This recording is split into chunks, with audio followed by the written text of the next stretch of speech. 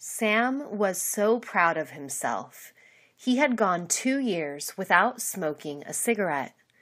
At the age of 14, Sam was already puffing away on his favorite brand of cigarettes, Marlboro.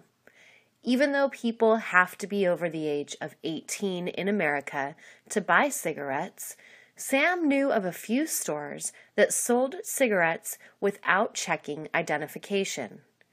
Sam had spent seven years smoking. He was 21 when he decided to quit.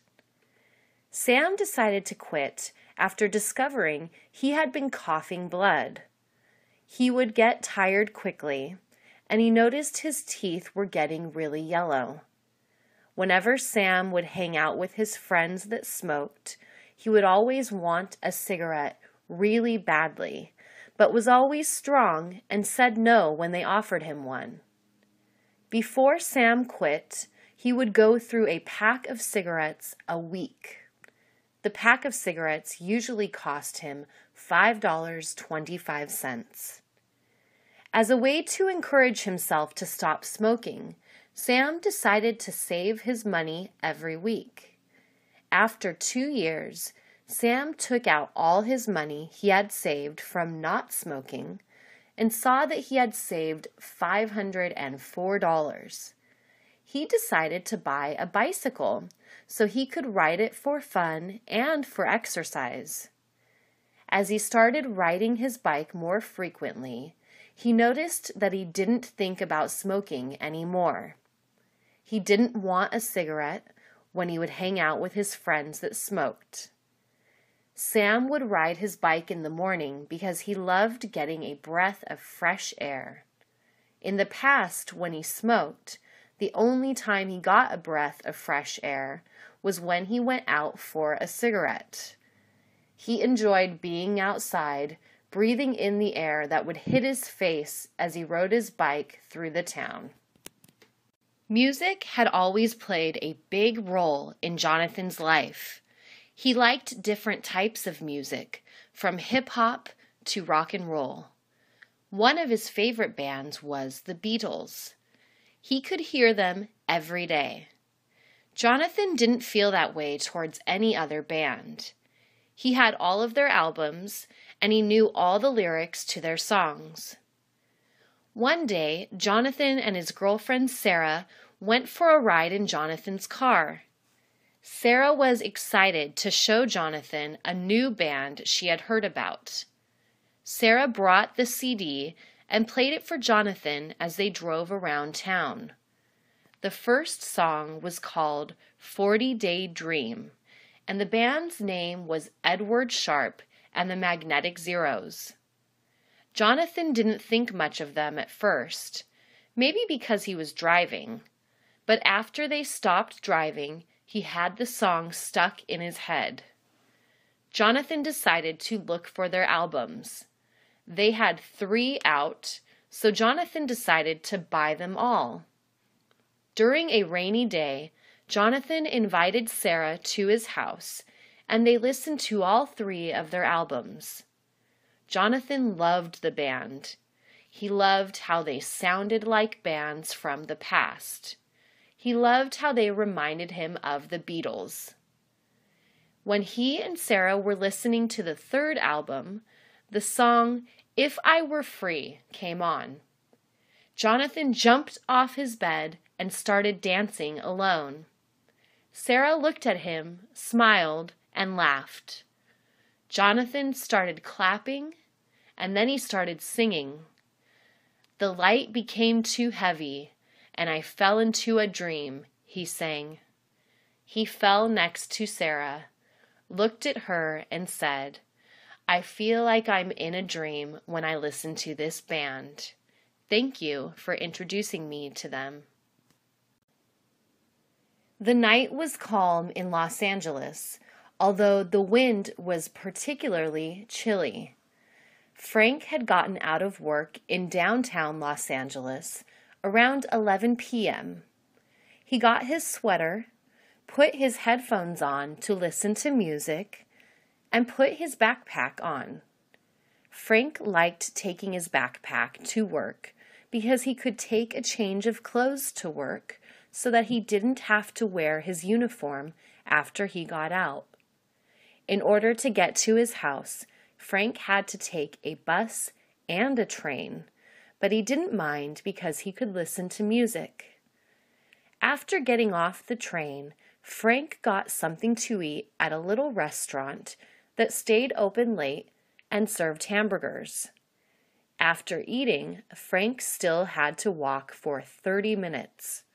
While Frank was walking through a small street with a lot of homes, he noticed there was a car behind him following him slowly. He looked back and noticed it was a police car. He didn't mind because he wasn't doing anything illegal, so he kept walking. As Frank was about to get home, the police car turned on the lights and drove directly to where Frank was at. They stopped and got out of the car. The two police officers surrounded Frank. Frank was used to this and put his hands in the air. The police officers told him to put his hands on the hood, which he did. As Frank was being searched, he asked the police officers why he was being searched. They ignored him and asked him questions. Do you have anything illegal on you? Have you been arrested before? Do you have a weapon? Frank answered no to all of their questions. They put Frank in the back of the police car. Frank asked again why he was being searched. One officer said, Because you are walking around the neighborhood with a hooded sweatshirt. Frank had done nothing wrong, so the police let him go after searching his backpack. Jacqueline and her family were sleeping in their home. Their dog Scruffy was asleep next to Jacqueline. It was 4:36 a.m. and the night was quiet. There were no cars passing in the street. No noise could be heard. It was like everything was still. Jacqueline always put a cup with water next to her bed so that if she got thirsty during the night, she didn't have to walk all the way to the kitchen. That was when it happened. The furniture started shaking, and the cup of water fell to the floor. Scruffy started barking, and it woke up Jacqueline. She looked around and saw that all her stuff was shaking. She started screaming. Soon after, her father came in and told her to come out quick. It was an earthquake. Jacqueline was so scared and couldn't move. Her father went in and picked her up. He took her outside where Jacqueline's mother and brother were at already. Jacqueline and her brother were crying. They didn't understand what was happening. Luckily, Jacqueline's mother had prepared an emergency kit and had it outside. She looked for the key, which was hidden inside a fake rock, and unlocked the box. She pulled out blankets to keep her children warm. Jacqueline looked at her mother and took the blanket. She then saw her dad take a flashlight from the box. He used the flashlight to see if the house had any damage. The father knew the house was not safe, so they stayed up until someone could examine the house. The children didn't have school due to the earthquake, so they spent the day with their parents. Jacqueline was so proud of her parents because they knew what to do during this disaster. She talked to her friends, and they weren't so lucky. Jacqueline went up to her mother and father and hugged them because she knew she felt the protection of her parents. Albert had been playing the guitar almost all his life. His first guitar was given to him by his father. It was a Fender Stratocaster, and Albert absolutely loved it. As a young boy, Albert would spend hours and hours listening to songs, trying to learn them on his guitar. As he grew older, he didn't play the guitar as much. He met a girl and they started dating. Eventually, they had a son. Every once in a while, Albert would take out the old Fender Stratocaster and play a song for his baby son named Max. He loved playing guitar for Max because it would calm him down when he started crying. As Max got older, he started listening to the same kind of music his father listened to. Albert and his son would listen to music together and talk about what they thought the songs meant. During Max's 10th birthday, Albert gave his son a Fender Stratocaster as well, the same model his father had gotten him. It cost him a bit more, but he wanted his son to have the same one as his. Max was happy. He asked his dad to teach him all the songs he knew. Albert smiled and said, Of course. When Max turned 17, he joined a band. They played local shows and were able to record some songs by themselves.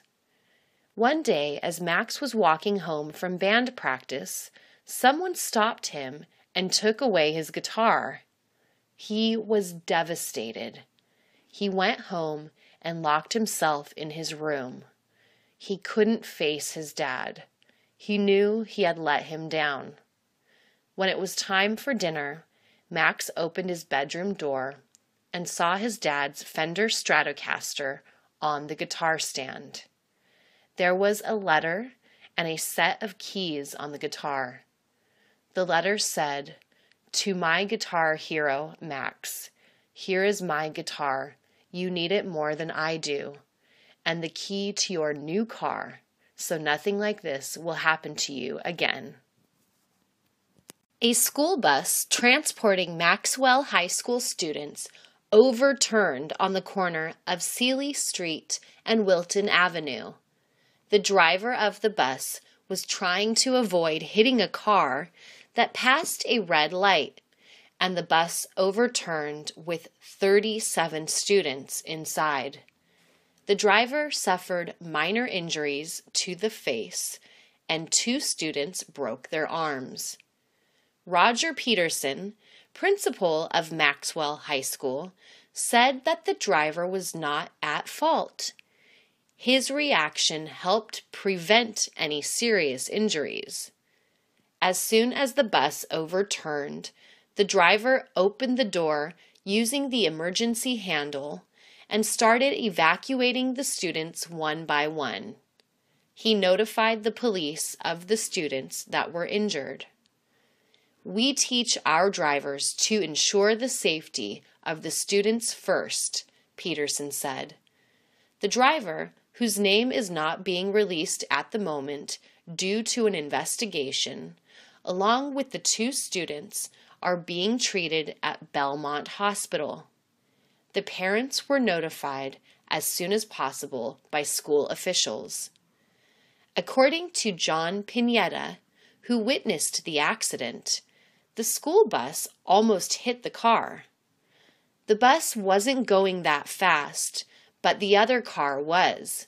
If the bus had hit the car, those people inside would surely have been seriously injured or worse, Pinetta said.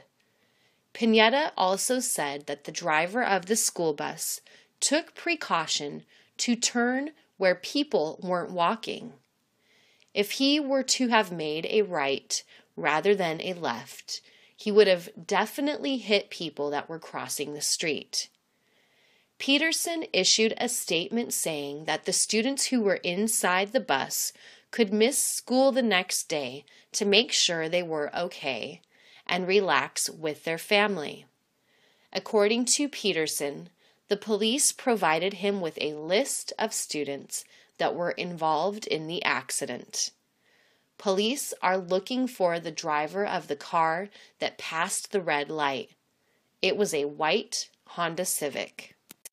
Anthony was a senior at high school and had a car. Even though Anthony wasn't 21, which is the legal age to buy alcohol, he would occasionally have a drink with his friends. Anthony was excited because today was his prom day. He had his tuxedo on and had a flower for his date. He got into his car and went to pick up his friend Jacob and then to pick up Jennifer, his date. When they showed up to the prom, Jacob's date and Jennifer went to the restroom. Jacob took out a small bottle of whiskey from his jacket pocket and told Anthony to take a drink. Anthony took some and didn't like it, but he still drank. As Anthony and Jennifer danced, he began to feel dizzy. He was drunk. Anthony, are you okay? Jennifer asked. Anthony looked at her and laughed. She figured out that he was drunk and decided to leave with Jacob's date. Anthony got mad and decided to leave. He got in his car and left. As he was driving down Mental Avenue, he saw a police car following him. He got nervous and started chewing gum. Anthony was looking at the police car through his mirror so much that he almost took a red light. When the police saw this, he stopped Anthony. The police gave him a few tests to see if he had been drinking, and Anthony failed them. The police took him away. His father picked him up and they went to talk to a lawyer. The lawyer said that Anthony would have to take alcohol education classes, go to Alcoholics Anonymous, do community service, and pay a fine. Anthony's father said that Anthony would have to get a job as well to pay for the fine. Anthony decided never to drink after that. He said that it wasn't worth it. Claudette's dad didn't let her have a boyfriend. He told her that 12 year olds aren't supposed to have boyfriends. Claudette always wanted a boyfriend, but didn't want to get her dad mad. She would always go to the library after school to study and wait for her dad to pick her up. One day, a boy named Stephen decided to go up to Claudette and say hi. Hello, my name is Stephen. I've seen you here before, he said. Oh, hello. My name is Claudette. I always come here to study and wait for my dad. I live a bit far, she said. Stephen asked Claudette if he could sit with her so he didn't have to study alone. Claudette said yes. They started studying and started talking. Soon they weren't studying at all. They began talking about music, books, movies, and what they liked to do for fun. Stephen had to leave before Claudette's dad came to pick her up, and he asked her if she would be back tomorrow so that they could study together again. Claudette said yes. The next day, Stephen showed up and saw Claudette. He sat down, and she smiled at him and said hello. They began talking about their classes and what they were learning at school. After they talked for an hour, Claudette told him she had to go look for a book and if he could go with her. Stephen agreed and went to look for the book with Claudette. As they were looking for the book, Claudette was in one aisle and Stephen was in another. Claudette took out a book and saw Stephen was looking at her. She smiled, and he told her she was beautiful. She was happy he said that because she really liked him. Claudette asked him if he wanted to be her boyfriend. Stephen said yes. As they were hugging, Claudette's dad came in and saw them. He split them up and took Claudette by the hand. He told Stephen that he wouldn't be able to see her again. Stephen was sad. My big brother James has always been a good baseball player. He is six years older than me, but he always invites me to go play catch with him. It's one of my favorite things to do. We live next to a park. Whenever we get bored, we just cross the street and start throwing the ball around. The last time we went to the park, we were playing catch and also hitting some baseballs with our bats. Some guys came up to us because they wanted to play a game of baseball. They needed two more players, so they asked us to play with them. James asked me if I wanted to play, and I said yes. The guy's name was Christian, and he introduced us to all the guys. James introduced me and gave the guy our names. I asked Christian if I could play catcher. I always liked playing catcher at school. He said that I could, and James got first base.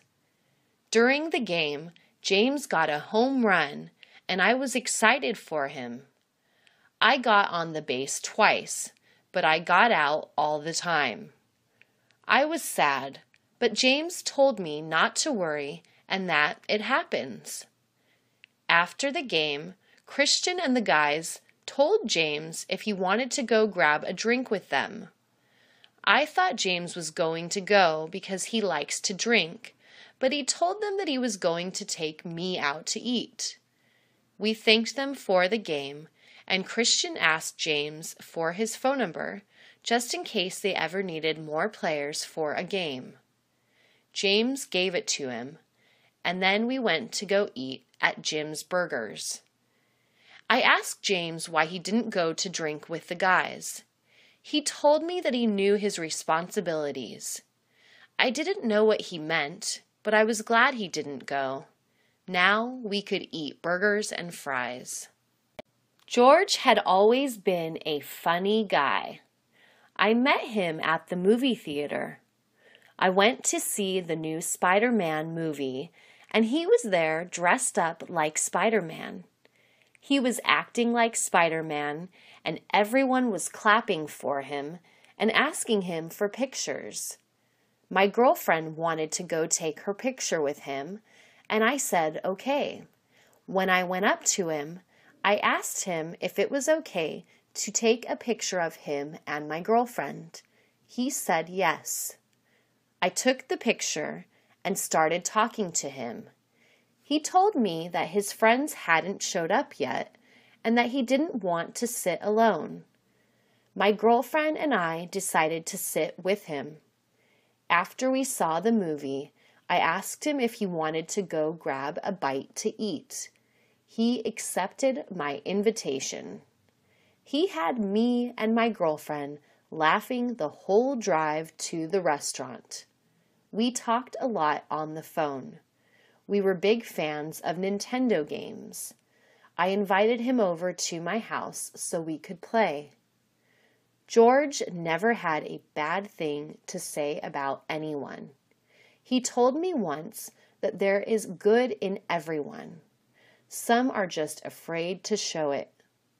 George had invited me to his house one day to play old Nintendo games but when I showed up to his house, no one was there.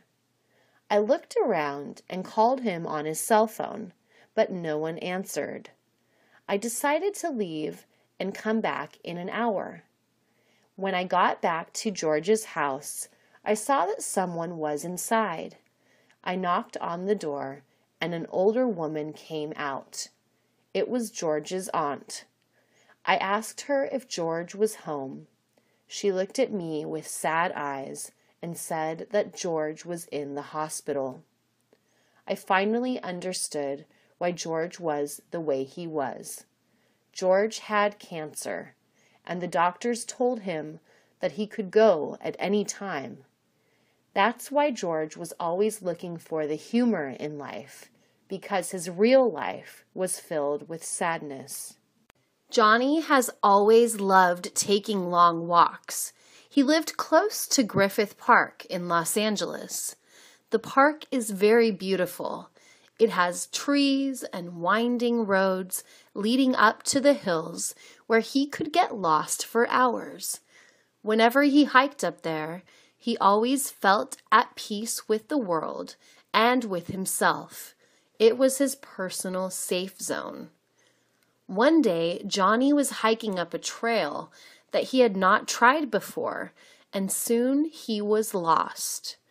Griffith Park is very large, and people have been lost up there in the past, but he knew he would find a way back. After about an hour of walking around in circles, Johnny heard something move in the bushes. It scared him for a second, but he just kept walking. It was starting to get dark, and he began thinking that he might have to spend the night in a cave or under a rock or something. That was when he heard more noise coming from the trail. It was very loud. Hey, Johnny shouted. What's out there? Stay away. He was sure it was a coyote or maybe a mountain lion. He started looking for something to fight back with in case of an attack. Johnny was in a full panic and started shaking uncontrollably as the noise got closer and closer. Just as he thought that an animal was going to jump out of the bushes, he saw the most beautiful girl he had ever seen in his life. She was tall and blonde and had long, straight hair, and the first thing she said was, Are you okay?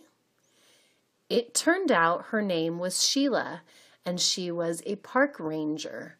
She told Johnny that she had seen him walk up the trail earlier, but did not see him come back down, so she decided to come up to see if everything was okay. Johnny had never been so embarrassed in his life, but that was okay. The couple ended up getting married a little more than a year after that. She saved Johnny's life that day in more ways than one.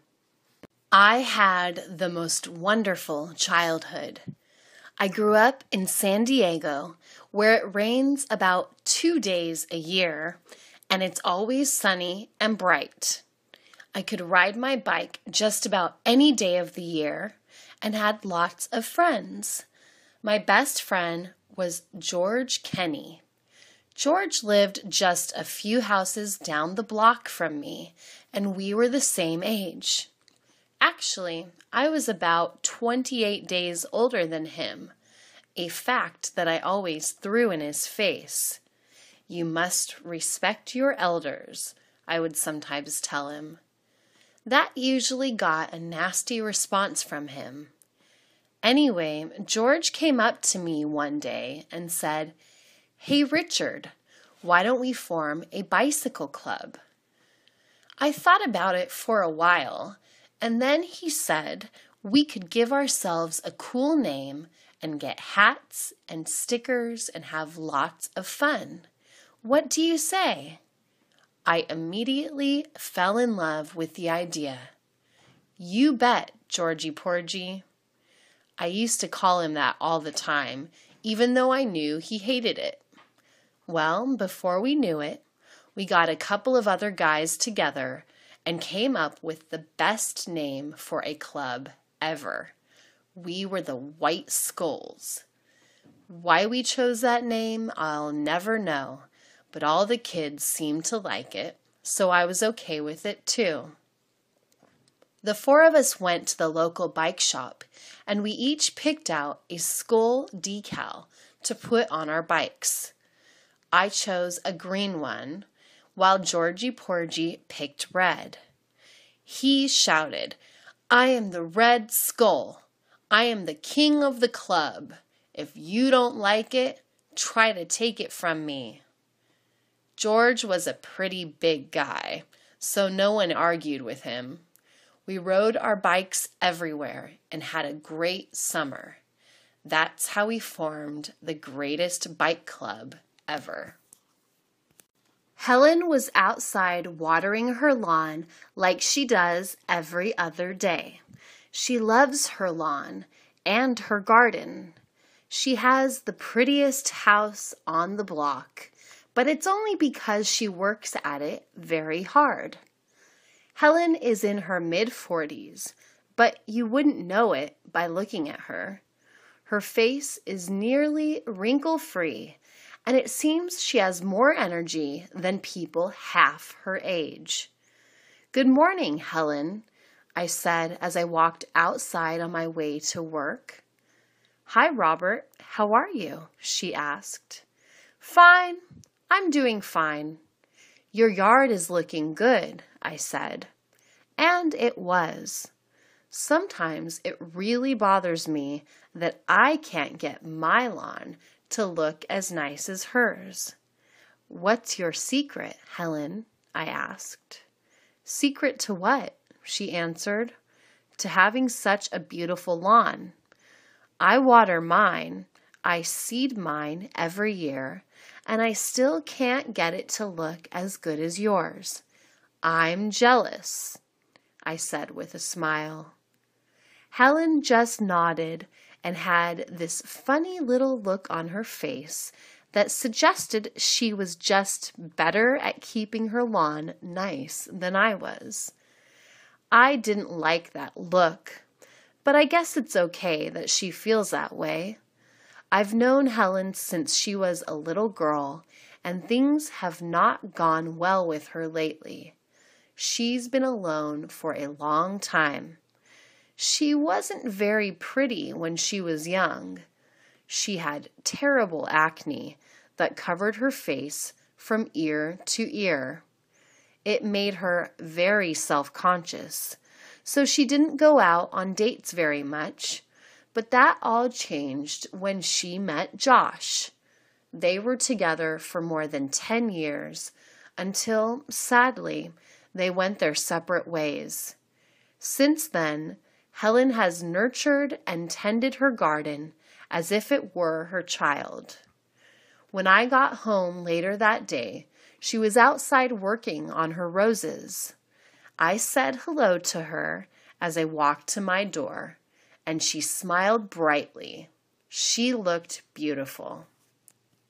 Alex was shopping at the local market yesterday, trying to find some fresh vegetables for his dinner that night.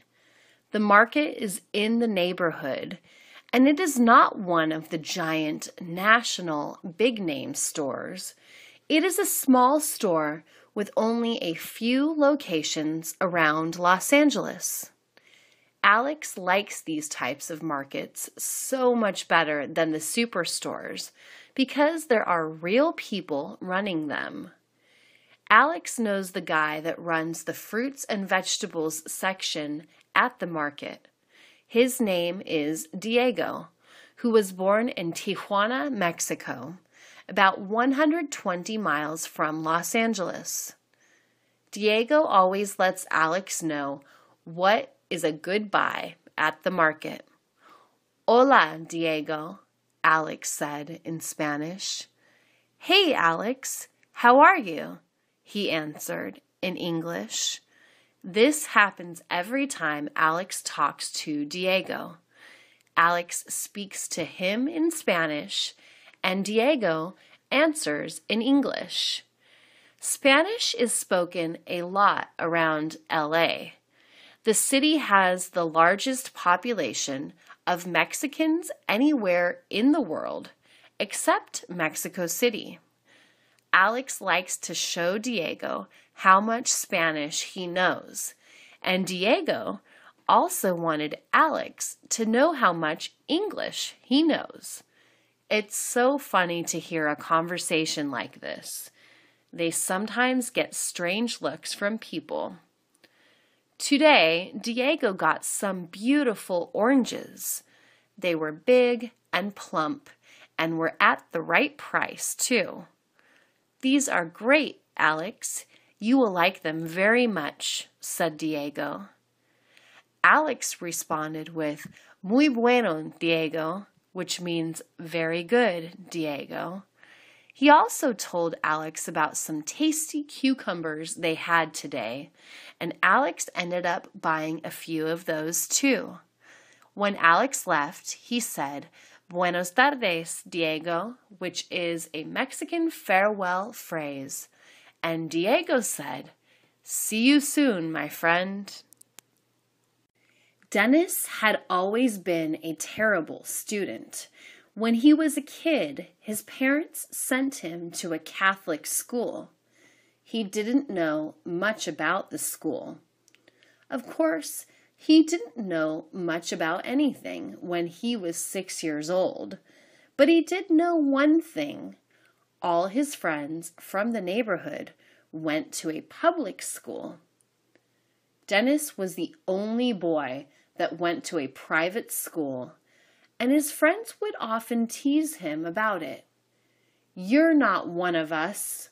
You're not one of us, they would sometimes chant. He wasn't really alone, though. His friend Patricia also went to the Catholic school, but she was a girl. After a while, they began walking to the small school together every morning. Pat was the first girlfriend Dennis had ever had. She wasn't his girlfriend, she was just a friend who happened to be a girl. The nuns at the school were very mean. They ruled the school like it was a prison.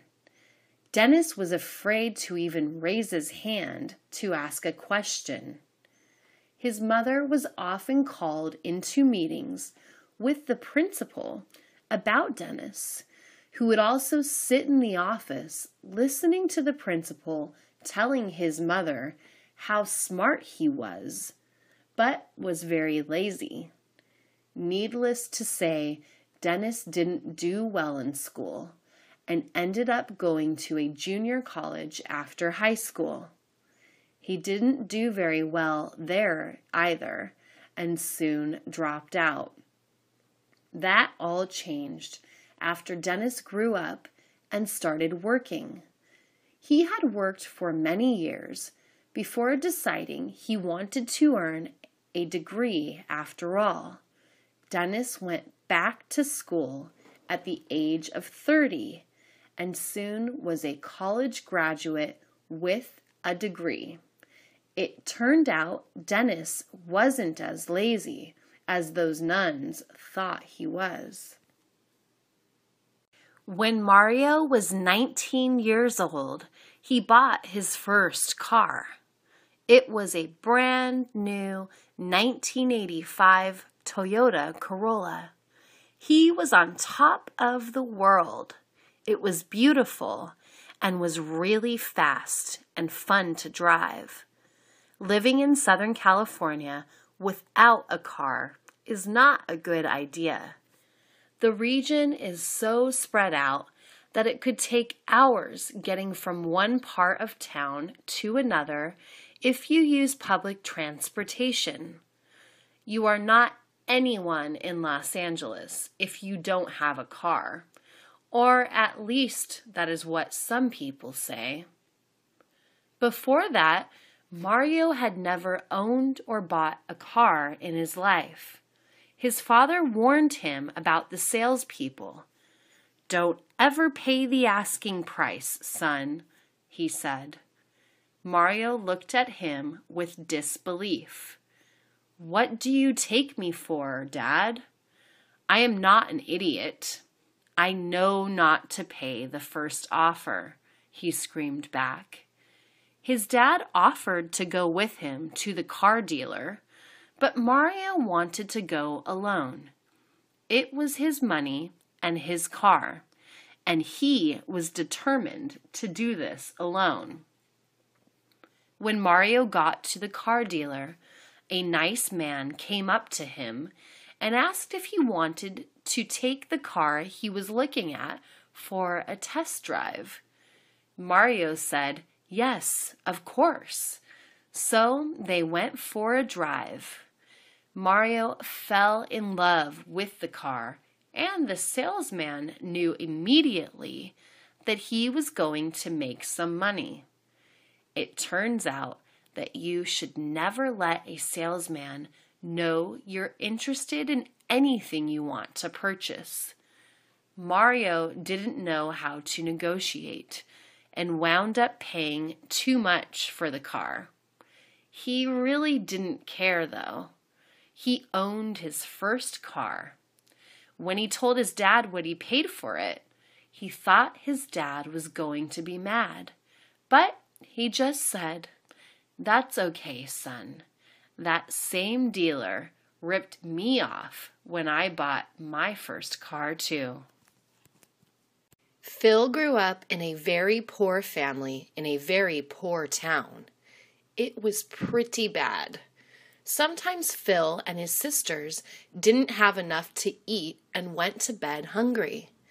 That was okay with Phil, though, because that was his life, and he thought it was just the way everybody in the world lived.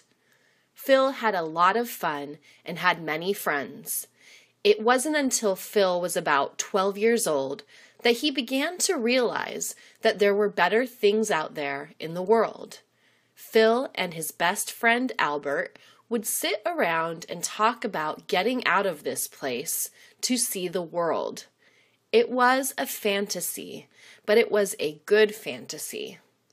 They really didn't know how they would do it, but they had a dream. Then one day, Phil's cousin Ralphie came to visit. Phil didn't know Ralphie very well. Ralphie grew up in Texas and was about eight years older than Phil. It had been years since Phil saw his cousin. That day, Ralphie changed Phil's life. Ralphie walked into the house wearing his Marine Corps uniform, and Phil knew at that moment that he wanted to become a Marine. Phil and Ralphie talked all night long. Ralphie told him all about the Corps and Phil was fascinated.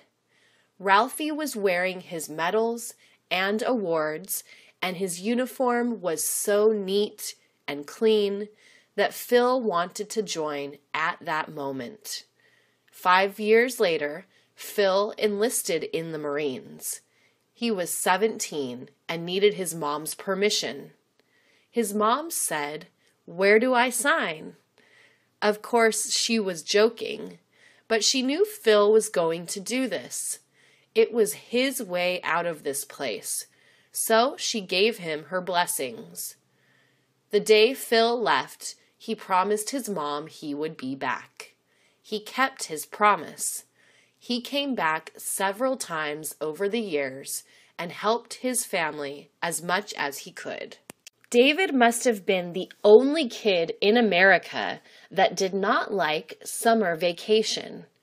Every year, between the beginning of June through the end of August, school kids were on vacation. Only to David, summer vacation meant work, work, and more work. His dad was a workaholic. He had two jobs most of the time.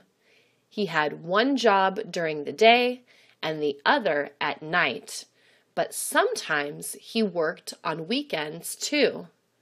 The man had more energy than any person alive. When he wasn't working on weekends at his third job, he worked at home, and that was why David hated summer vacation. His dad was always building something or tearing something down. If he wasn't tearing down a wall or adding a new room to the house, he was putting in a new driveway or garage. It was living hell for a 13 year old kid. While all of David's friends were off playing baseball or riding their bicycles, he was usually hauling bricks or mixing cement. That's what he remembers about his childhood. David always knew he was in trouble whenever he heard, Where's David? His dad's voice seemed to carry down the street. That phrase could only mean it was time to get to work. Of course, David learned throughout the years how to make himself disappear at just the right times. But his dad usually found him anyway. But, Dad, I want to go to the park to play with my friends, David would say. You can waste time with your buddies some other time. It's time to get to work now, his dad would respond. It got so bad that David would intentionally fail classes so he would have to go to summer school. Summer school was for students who didn't do well during the regular school year, but he didn't care. It meant less work. It meant freedom. Every June, my old elementary school has a carnival on its ground. This has been happening since I was a little boy. I used to have so much fun there. It was amazing. It had rides like the Ferris wheel and the flying teacups. The Ferris wheel was this huge wheel that carried two people in a giant circle above the rest of the carnival. I remember the first time I got on it when I was seven years old. I had been begging my mom for months to let me ride it. Please, Mom, please. I'm big enough now, I would scream. However, she kept saying, You're too young, Billy. Maybe one day. Of course, seven year old kids have short memories. I kept asking over and over again until she finally said okay, but she said she was going with me. I'm a big boy, Mom. I can go alone, I said. She would not agree. We're going together or not at all, she said. And of course, I said, okay. When the big day came, I was so excited. I almost had an accident while waiting in line. The guy who was seating people kept saying, Next, as more and more people got on and the line kept shrinking. His shouts of next kept getting louder and louder, and I knew my time was coming up. When we finally reached the end of the line, it felt like I waited a month. We got on and put on our seatbelts. I was excited and afraid at the same time. Then it started. I went so high up in the air that I got dizzy. My stomach began to turn, and I felt like throwing up. It was just too fast and too high for me. I didn't get sick, but I was sure glad I was on the ground again when I told my mom, Please don't send me up there again, Mom. Going to an all boy high school was no fun. Joe's parents thought it would be a good idea to send him there instead of a public school because he would get distracted by girls, as his mom would say. Once during his third year, Joe begged his mom to let him go to public school. I just want to be normal, he would tell her. I want to meet girls. I don't want to be weird. But his words always fell on deaf ears. Mom always said that Joe had plenty of time to go on dates after high school and that he needed to concentrate on his schoolwork. This usually made him very sad, but like a good kid, Joe just nodded his head and went on with his studies. That all changed one day when Joe met Carmen, who lived just two blocks away from him. One day he ran into her at the market by chance. They had gone to kindergarten together. They were also of the same age. She was in Joe's class, and she remembered Joe too. After about two weeks, they were going steady. Joe was so happy but had to hide his relationship from his parents, which was okay. Because Carmen was hiding him from her family, too. Are you kidding me? Carmen said. They would kill me if they knew I had a boyfriend. Everything was going great for a time, but Joe's mom was right. His grades started slipping, and he soon was on academic probation because he was spending too much of his free time with Carmen. She also dropped a grade or two. As a result, both of them had to go to summer school to improve their grades, but Joe didn't care. He was in love, and that was all that mattered at the time. Much later, he came to realize his mom was